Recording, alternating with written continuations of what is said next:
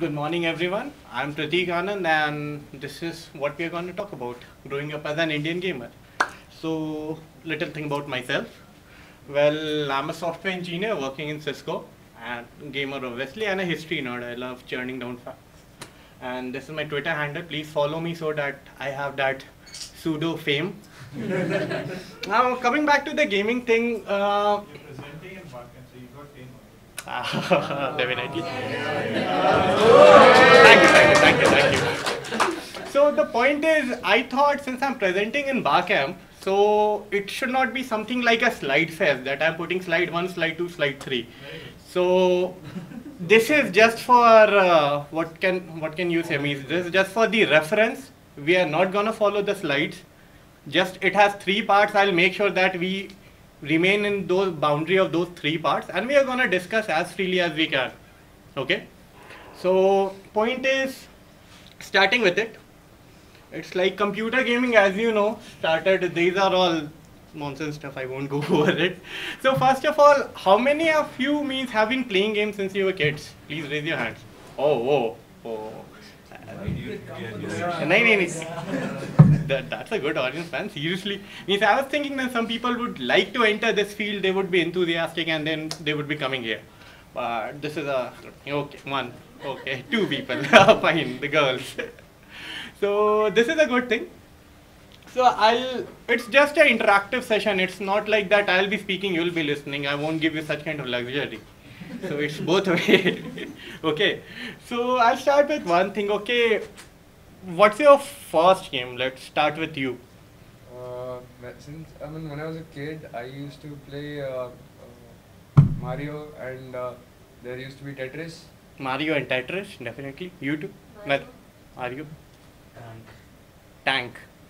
Dave. Dave Sonic the Hedgehog. Mario? There? Mario. Yes F- Mario was the first was it there on a Game Boy Yeah, Game Boy, the old one, Ma- black and white. man, you a rich man. Seriously, we could not afford that. GB and Ruby's Gamer. Yeah, Prince of Persia. Prince of Persia. What about you? Hmm? Ah, I remember Claw. Damn, game. People there? Prince of Persia. Oh, All people are pro here. This is good. This is good. So this is all about the nostalgia trip. We'll be talking about what kind of games defined us in India. Means not in the world perspective. Means what. And second thing is how much of India do we see in these games? That's part two. And third is what we can do to actually improve the situation. So part one is pretty much broad. We'll be discussing all the way through. So as going through these means, again nobody has played Contra.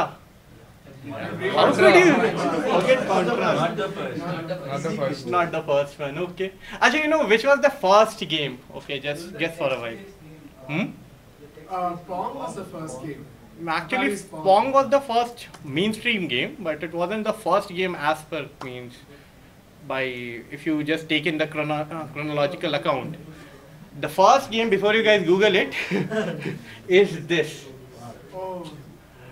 This is some kind of a scientific instrument. Even I have forgotten some kind of oscilloscope or something. There, one of the guys he decided to skip his date and spend the whole weekend making a game.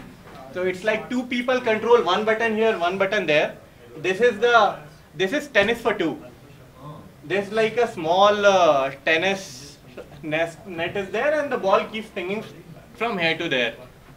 And using the buttons, you can just change the way it comes. So it was in 66 or 67. Okay, that's one thing. Now, this was my first game. Okay, this is not the actual screenshot. This is the HD screenshot, the newer one. It's it's called Galaga or Galaxy Invader. Space Invader. Yeah, multiple names are there. Galaxy Chase is also there for it. So this is the very same one. There will be one ship at the bottom, and there will be all kinds of spiders, and it has got that eerie sound. I it doesn't have speakers, otherwise they would have played it. So that's all the way it goes, right? So as I said, actually you guys recognize this game? Pong.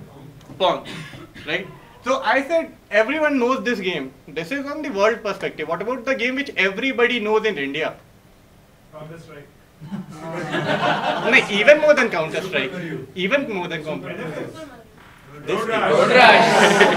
oh. this is Road Rash. This is what defined India for us. And I remember playing it. My one of my friends, one of the developers here is is an Indian. His name is Satish.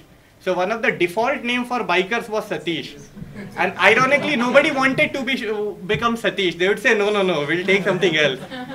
And the best thing about it, uh, it means the main drawing factor, at least we were teenagers back then, at least from my point of view, I'm saying, that uh, the main factor wasn't that uh, you have to play and complete the game. There was a very good video at the end in which two, three girls will come and give you that uh, entire trophy and you will take, you will take the girl instead of the trophy and ride away. That was our prize for which we all played. No, to beat up the other person. Hmm? That was the other. Beat up the other person. No, that, that's another. I, I was kind of non-violent kind of thing. Gandhiji. Fulfilling your fantasies to you. Ah, yeah, uh, that's there. So, yeah, so that I was saying the kind of sense of uh, everything which you see now was there earlier also. The fighting games, the kind of music and the kind of immersion which we see. I was saying, somebody asked me, okay, multiplayer wasn't there. I said, it's not possible to. Multiplayer was there. We had those small Nintendo game systems. You would put a cartridge and two friends would come and play WWE or Ninja Turtles all day. Double Dragon also. So the biggest problem those days, somebody said uh, that no, it was the difficulty level. I said no, it's not the difficulty level. According to you, what was the biggest problem at that point? Means when you're using the video game cartridge system, biggest irritant. Moisture. Moisture, acha, you have to you have to take out your cartridge, blow it, then place it back. That's one. Okay. For people living in non-coastal regions, what was it? I'll say. I'll say it's no, actually no, no, in those days actually there was no soap opera Saas Bahu. So mother won't come and say I have to watch Kyuki Saas Bikai Bahu. It was a bit few years before that. So major irritant I would say was erratic power supply. So many times I have reached the final stage fighting with my brother that okay this time we're gonna kill the guy, and suddenly whoop, power's gone. You have to start all over things again. Means that destroyed us all the thing. So now I'll start with a bit of personal history. You might be able to relate with it because, uh, but it's yeah, it's painted in my own personal opinion. So it's like I've been through the phase where the it was the best example of have and have not mentality. Means it's like at that point of time one would go there and say, okay, my dad went to Singapore and got me a video game. So it's like that. that that's the uh, rich boy in that town. That's now he'll decide who'll bat and who'll ball. So those kind of things were there. That and in return he would let me play Contra for a while. So those were the things, and uh, we used to spend our all money in those gaming stations. They used to charge a bomb. Later came the computer phase. Earlier they were not. So yeah, as I said, 3D was a luxury. 2D was the main thing. Means 3D was Doom or Wolf 3D. That's even not a real 3D, but still, it was 3D for the time. And as I said here, Alan Border cricket was rich. How many people have played like cricket there? Totally. Alan Border, Brian Lara cricket. You, you know how to how to hit six on every ball. There were few people who knew that if, if you press this and this button between this time interval, it would hit six. And before India could make this 350, Australia making 400, they had made 600 in 50 over matches every day. So, Alan Ward also. Ashes 97. Whenever you hit a four and the PC scooter would make a noise, it will hang. That's the best part. I had a one game in which I think it was some kind of uh, uh, House of the Dead. In, Ah, in House of the huh, remember in one of the levels the main villain before dying would use the last superpower. It was so much that my computer would crash. so I had to ultimately put up cheap cheat codes there to actually go over it. So yeah, it's actually we had no extracurricular, no friends, no other interests, but we were happy that we were having our computers and video games. I got my first uh, video game when I was in class one. I got these specs when I was in class two. so that's pretty much a cause and effect thing. So let's moving forward. Yeah, first computer of mine, my first pride proud moment was at the age of 12. I was in class six or seven.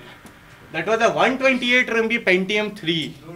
Dude, you're a rich guy. Pentium. This is a Mine first was a uh, P2.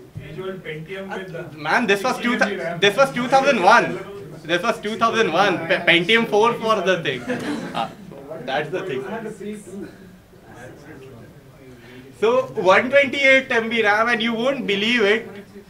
The time when it came, it was already outdated. My dad said, "Anybody, anyway, you are not gonna do anything, so take it."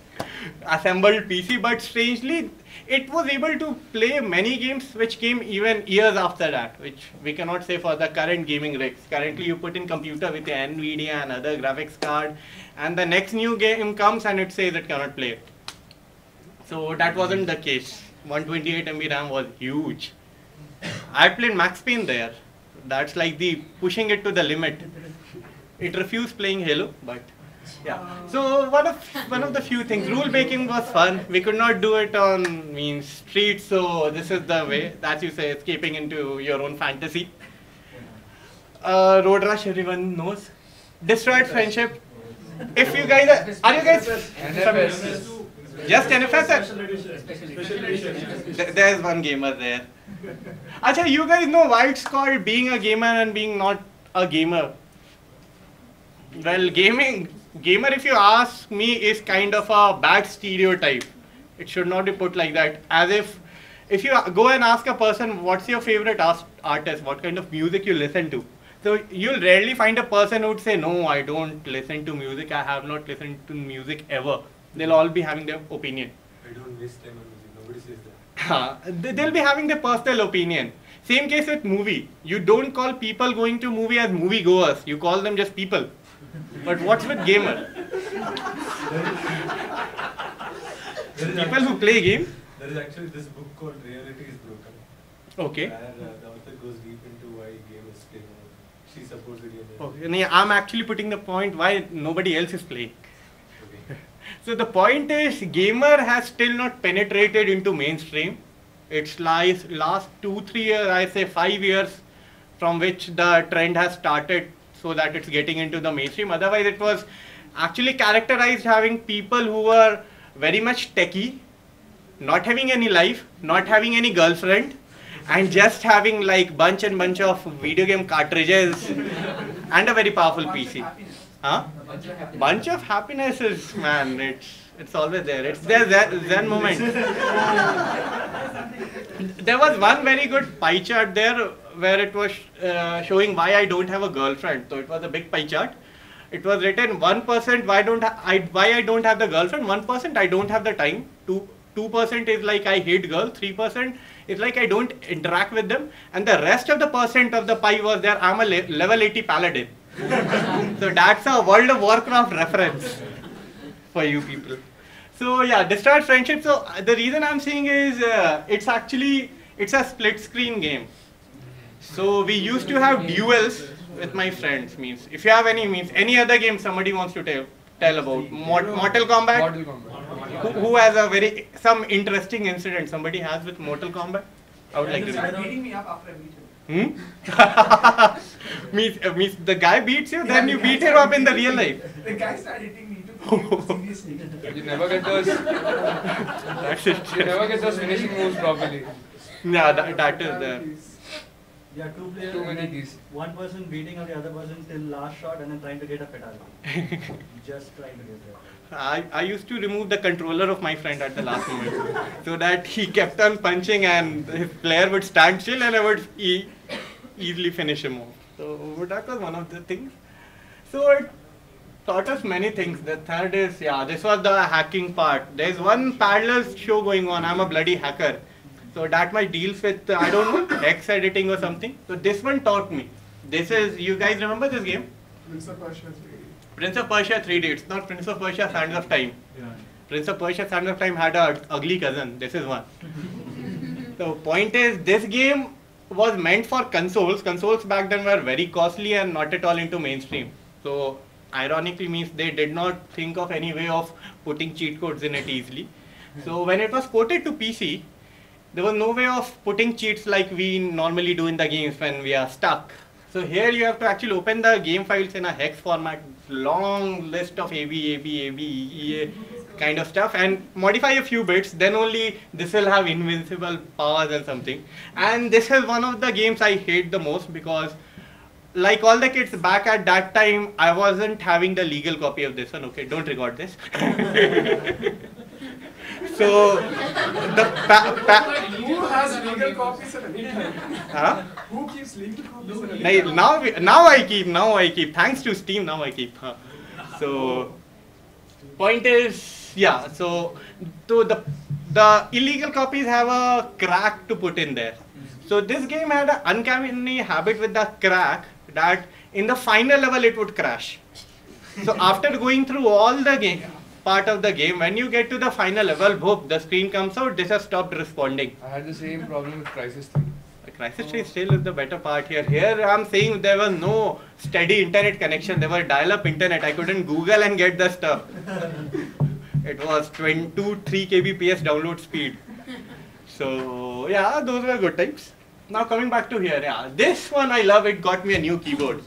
The reason is, whenever I wasn't able to finish before, I would just break down my keyboard in frustration, something like this, this, this, throw it away, then tell dad, okay, I need a new keyboard. I get slapped, but I get a new keyboard also. So you guys remember this game? Commandos. Commandos. It's Commandos 2 actually, but yeah, the whole Commando series. Insanely difficult and one of the best strategy games out there. Now, if you guys aren't familiar, okay, everyone's gamer there, no, but this was action adventure, this was racing, this was also racing, and uh, yeah, this this is strategy. So those are the good times, the computer times, I would say.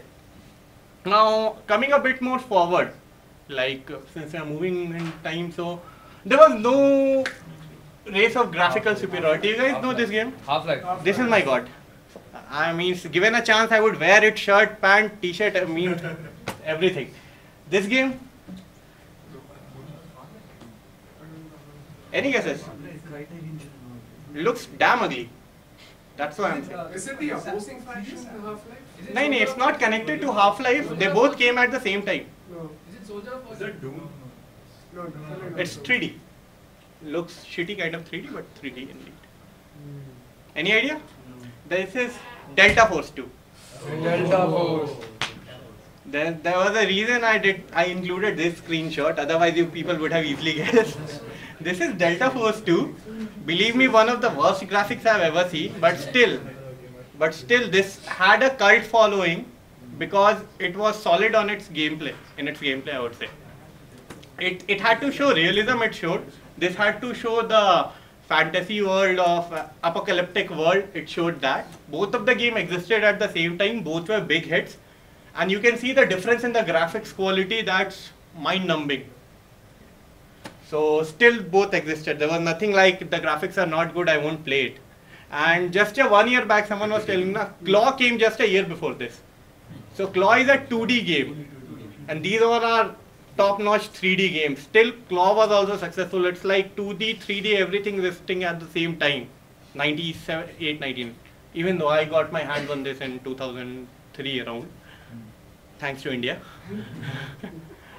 thanks to my local CD wala. did not bring one.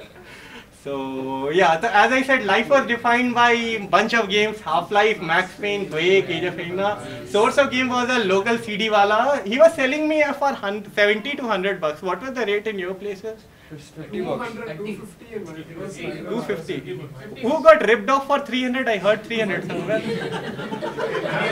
National market. I didn't buy it, I didn't buy it, but 300 was- National Market But uh, the 300 was because uh, at that point, uh, the DVDs thing had just come up, so sir, one DVD. This is 2001, 2002. Same time, na?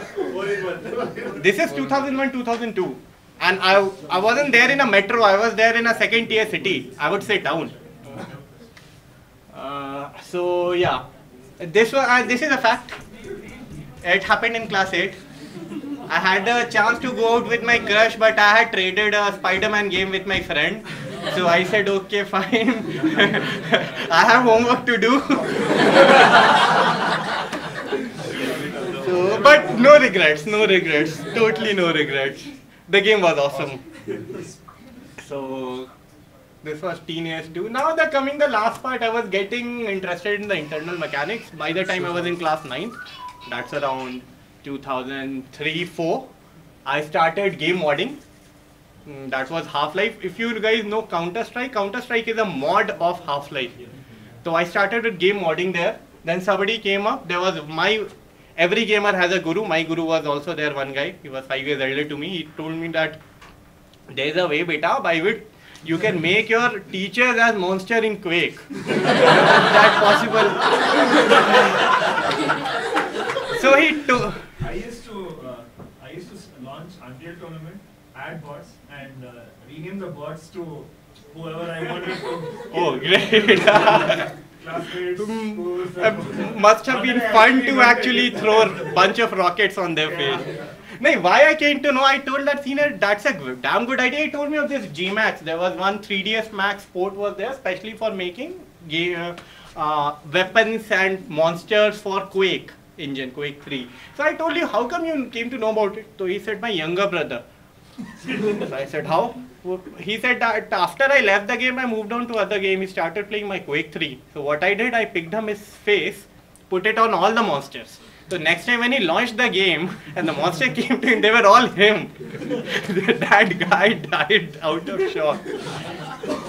That was a new thing back then. 2002, 2003 means you don't expect your own face coming at you holding a gun.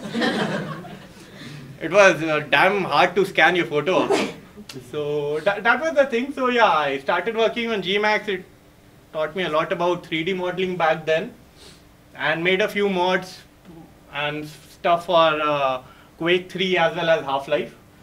And yeah, by the time I reached class 10th, I was like fiddling with. I learned Maya can also do those stuff. Went into Maya, went into Flash games. Didn't like much of those because I was into 3D gaming stuff. There were also some gaming uh, gaming programming languages called as dark basically i knew nothing about programming. I just wanted to make games and i failed considerably over it. But anyway those were good times. Then came the real last party. Many of you can relate with it. Board exams happened. Parents say beta khel liye it's fine. You have played enough. Now just get back to study so studies happened. Unfortunately, some good marks came. Then parents had a second dream in baggage, IIT-JEE. It did not happen, but it kind of uh, destroyed my six years. I got unaligned. Means I went into like okay, I, I, IT is not there. Means I was supposed to be making games. I was making games in 9th and 10. What hell? What the hell happened later? 11, 12 spent in IIT-JEE stuff. It did not happen. Went to an engineering college. Then I was like, I'm gonna show those IT guys.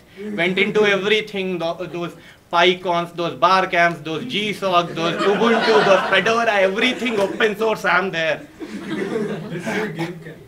Huh? Game camp. There's a game camp also. anyway, so so my gaming part was left to okay intermittently taking note of okay where is the gaming, how is the gaming, but nothing much over there. Okay, moving forward. So right now I thought okay now I'm well settled. It's time to ditch all the things and get back to the place where I was. That is making games. I made a few games in between, but they were not as good as they should have been. So what is the aim of this talk? We're again stuck at this point. Now we are coming to the second part. This uh, was in editing. Now one interesting thing I noticed in the slide, yeah, gaming, that India is depicted in a very comic way.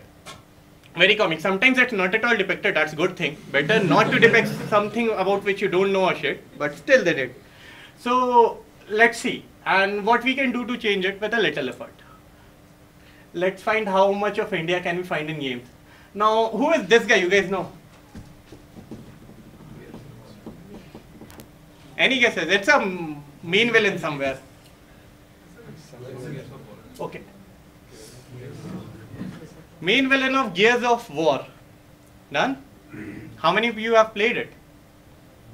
Not many people. Only the multiplayer. No, no, it's, it's there in uh, PC also. Yeah, I started. I Only the multiplayer. Yeah, uh, go and download in your torrents. so this is Gears of War, and this is the main villain. The name of this guy is General Ram. So so much means I felt so good. I killed General Ram by Guys, who the hell keeps it? It's a Microsoft special title. Half of the people in Microsoft are Indians. And definitely they are not in the creative team. Second thing, this game is Fallout 3. Oh, This is a double-headed cow. The. Hmm? The Brahmin, sorry. It's huh. It's called as Brahmin. who, who names this is, the reason why Fallout is banned in India. Exactly, I was coming over the point, you spoiled it. no issues. No. So which of them? Fallout 3 was banned. Fallout 3 came in 2008, I guess. Gears of War came in 2007. They did not bother to ban General Ram. They should not have banned Fallout either. But since you are banning one thing, ban the other, or don't ban anything at all. They added an extra. Hmm? No, for the main problem with actually, yeah, yeah, that's the main thing. The main thing for Gears of War 3, the the the political leaders have to play the whole game to reach the end part to know there's a general around there, which obviously they don't. This is the problem with Hollywood also. If you see, acha, this is the one. You've heard about this game called Asura's Wrath? Yes. I'll show you one small video. Yeah. It's there, right? It's an excellent video, I think. It's more like your God of War kind of a thing. There's a good guy called Asura. He takes on the ancient people and see the kind of. I want to show you the kind of God he's fighting with. I want to. Sh- this is the God. Oh, holy. I mean, unholy. No, that's actually amalgam. I went through the source file or means I went through the whatever stuff I could find there for this thing. This guy, actually, this god here is actually amalgamation of Buddha, Vishnu, and all other Indian and uh, what's the Indonesian old deities there. From they've written it, it's dip- it's after the pagan gods. I said, how the hell it's pagan? They're Indian gods. It's Cambodia and all, it's same thing. And see the way it fights. Just a one minute I'll show. Wait, uh, let's come to fighting. It's it's not like that Ramanand Sagar kind of a thing, Teer se teer, arrows. Let me try. Yeah, it does actually. Oh crap. Now.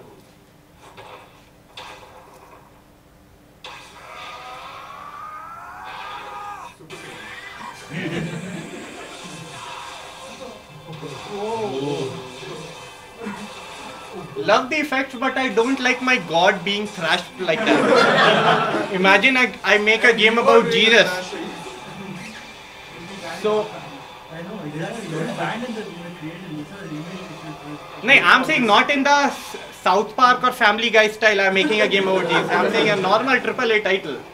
See, for us they are gods, but they are basically Hindu mythology based heroes, like Poseidon or Athena. No Hinduism is referenced here. They said that they have picked up from Cambodian and South North Korean, the older parts there, which is actually from India. Yeah, which is. So, oh they, The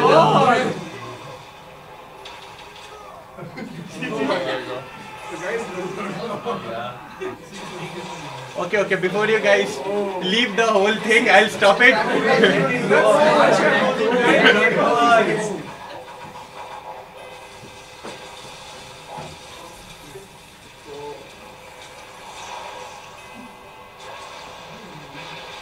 This is a. Okay, done. so yeah, the point I'm saying is it was a damn good game. Means the game wasn't damn good. The effects and the fight scene was damn good, but it was about a asura fighting a god. The god whom we actually follow. I'm a theist by the way. I don't care, but still, it's like a dent to my civilization. In means my culture. Like if you want to depict God, depict in a humorous way at least for this fighting. He's showing him as a pure evil So they don't know anything about Indian culture, and that actually shows. I won't go over this part. The time crunch is there. There's a Modern Warfare 3. If you guys have played it, there's a Himachal Pradesh level in there. If you see, it's like uh, those guys have never visited India. They have just seen uh, towns and villages of India by BBC, the whole stuff, and they've modeled the game after it.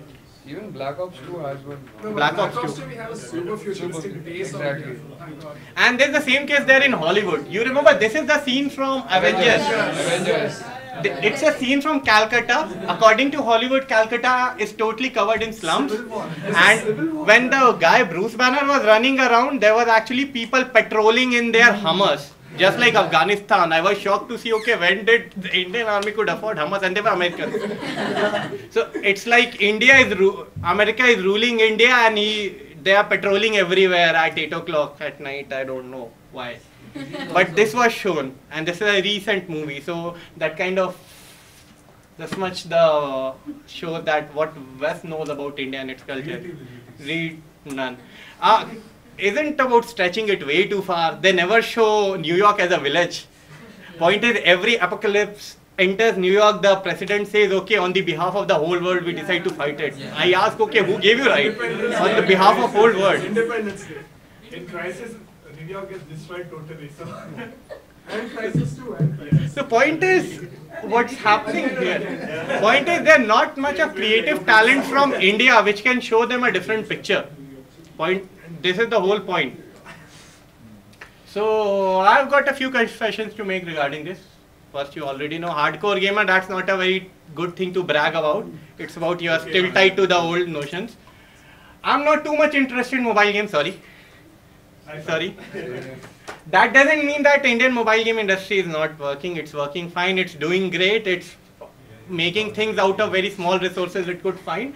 But one thing which frustrates me is that once I figure out I'm playing a mobile game by an Indian studio, it's titled as Halloween Special or July the 4th. I was shocked that if you're an Indian studio with creative head, that too in India, why are not making India-based content?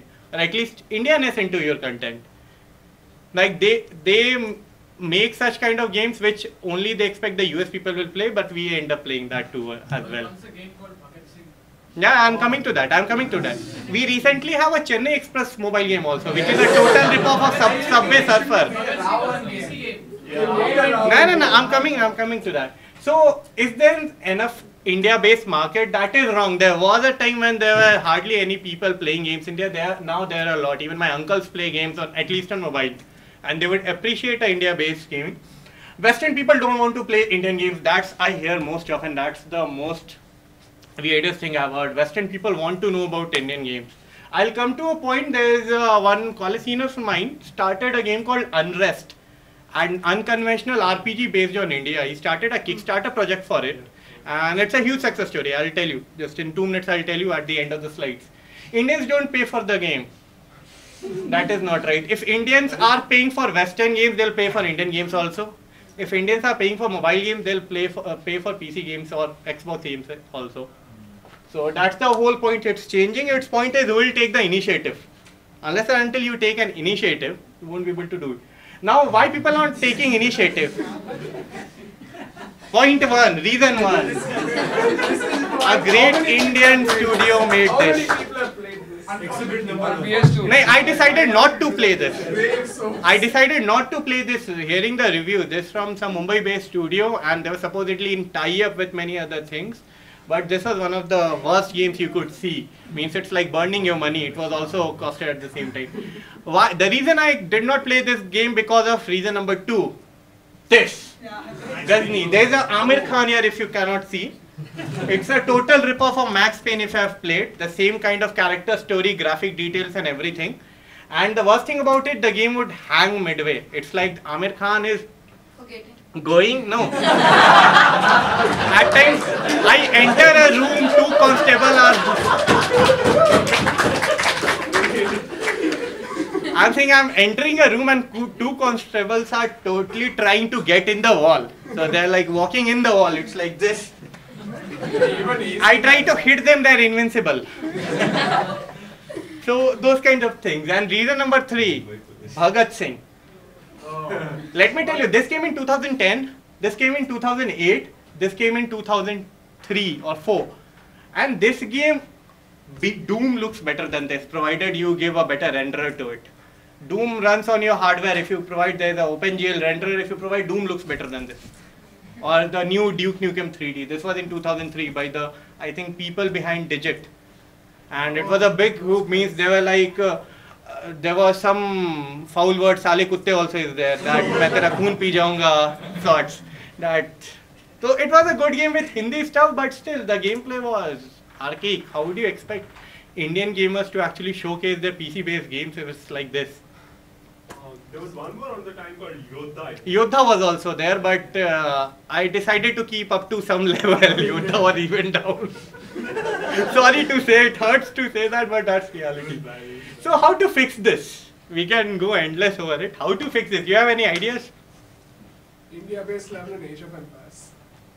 That's one good thing, and at least include Indians. I think Assassin's Creed also has some Indian stuff, right? More indie games. Indie game, more indie games based on India. That, that's a very good idea. Actually, you should go and search. Uh, I'm from I'm Manipal. So few students from my college made GTA Grand Theft Auto Rickshaw. Seen it, right? So, those kind of things are there. So yeah, you can make traditional games also. You can make India India centric games. Okay, if you don't have business for India centric, make a normal game. Have, have India based content. Even if you ha- cannot make that, make a Western style game, but inculcate into Indian stuff. I'll give you one example without taking any names. There was a I saw an Indian 2D mobile gaming company making a skateboarding game. There was one the graphics were horrible. There was one guy wearing helmet and all. He was on skateboard and he was trying to avoid the potholes to reach to the other end doing stunts. Very cool concept. Later found by an Indian studio. I said, why to do this? Why not make to do something this? A normal common man, RK Lakshman's common man, make him to catch the BMTC bus avoiding potholes. A very good game idea. Second thing, make ideas on social issues. Yeah, anyone has played this? Angry Anna. It's Angry Birds. Just in place of Angry Birds, Anna Hazare is the main bird, and these are all the other birds. And all these, the political leaders are the. so, and when you hit the hole, when you destroy everyone in the level, a cheer comes from the back. Maro saloko. so that was the best part. I felt like okay, I'm playing. I'm doing some social change by playing the game. so this was it so there comes to our end like we, we can make so many games out of india and like developers have to come change their perceptions there many developers talented mobile game developers if not pc game developers are there in india who can make a difference if they try to make india centric games. And yeah the things i'm saying that uh, are westerners interested in playing india based games? As i said about unrest. Let me tell you this unrest is an unconventional role playing game. And the developer who was there he did not have funds for it so he decided to do crowdfunding there's a website called kickstarter. He posted it there saying that i need $3000 to complete my game. I've made two games already but they did not hit anywhere. But this is my third game and he posted this screenshot. This generated so much buzz that within one week of posting it instead of $3000 the guy ended up having $35000 to him as well as his game was featured in kotaku and other gaming related magazines means uh, websites so this was a huge thing everybody is setting an eye on this thing So it's in development now? It's in development now I mean, but the one thing I felt bad about it is it's an India-based RPG. They're trying to do things totally differently. It's like you never die in here. There are famines, there are natural calamities and all. So you keep on surviving. The bad thing I felt about it, this art looks so good, but in-game design is not that good because of lack of artists. There are many great artists in India, but they are like somewhere not here. I think it should like how if you see if you see Halo the first one Mhm. and then you see Halo three, it's the same design and it's the same gameplay, same. They're just adding few elements to the game. A few elements I would say But 3D engine and the game concept are a bit different things. So Correct, but then the artistry keeps improving very. True, true. Uh, indeed, I'll go with it. Huh, because there are funds. In India, the gaming companies don't pay well to the artist. And this artist is a Swedish guy. It's not an Indian guy, but still he's able to make so much authentic stuff because the other people, the the person behind it, there's just one Indian who's the head of it, Arvind, he was able to imagine this thing. So there's so much buzz around this thing. This just I wanted as an example to show people are ready to see India-based stuff if we bring one. If people can watch Slumdog Millionaire, which is a shit movie on India, Then definitely, and give all the Oscars to them, then definitely a good game would fetch many things. So yeah, these are the last slide that India has been, not every game developer has been mentioned. Small studios are there, but their games are not that good. There's a gaming studio which was making Pahelika games. They were good, but they were puzzle games. They're not, I won't consider them in the mainstream area. They're again in casual gaming area. And apologies to mobile game developers. I don't, I mean no harm. Make as many Halloween games you want. And thanks for your time and game on.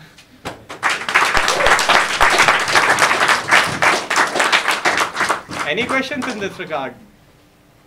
Anything you want to say? computer right now. Hmm? Do you have any games on your computer? uh, I've got many. Come back to me. Yeah, some of your- your games. Achha, one last thing I would like to tell you to all people. They say that Indians don't buy game. I suggest one thing. If you're on a PC, if you're on Xbox, you're screwed. PlayStation screwed. If you're on PC, one thing is pirate the game. Second thing is open up a Steam account, have Steam installed in your system, mm. and just wait for the time when they have sales. Or you guys. Every big game I've bought for one dollar, two dollar, and now we even stopped because the dollar price is rising up. But still, I'm I'm getting Humble Bundle is also one of them. I'm But actually shocked because I It's keep also buying and I never end up playing them. So like, I'm boarding them. I'm like, no, I need to- to at least the sales keep time playing are them. good. You know you have games, you can play them. It's like that's, uh, the, that's the problem. Like, okay, I need to play. Okay, what do I play? Nah, not in this mode.